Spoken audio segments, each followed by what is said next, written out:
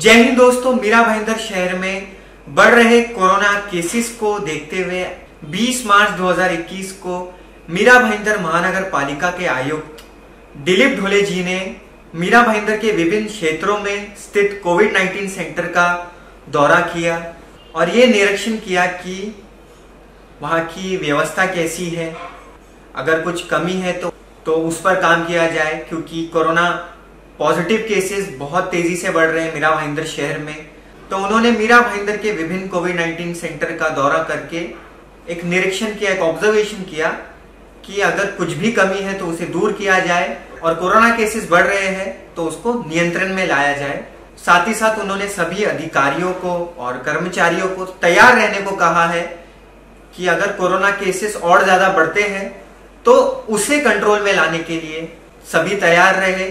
अगर मैं 20 मार्च 2021 के कोविड 19 की रिपोर्ट की बात करूँ तो करीबन 121 कोरोना पॉजिटिव पेशेंट रिपोर्ट हुए हैं 20 मार्च 2021 को, और कोरोना एक्टिव पेशेंट्स का आंकड़ा फिर से हज़ार पार हो गया है।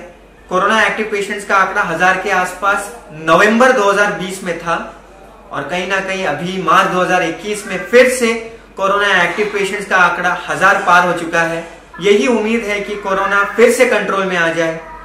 तो मैं आप सबसे यही कहना चाहूँगा कि सभी कोविड 19 की गाइडलाइंस का पालन करें, सभी प्रिकॉशंस ले, अपना ख्याल रखें, सभी को दुआओं में याद रखें। Thank you so much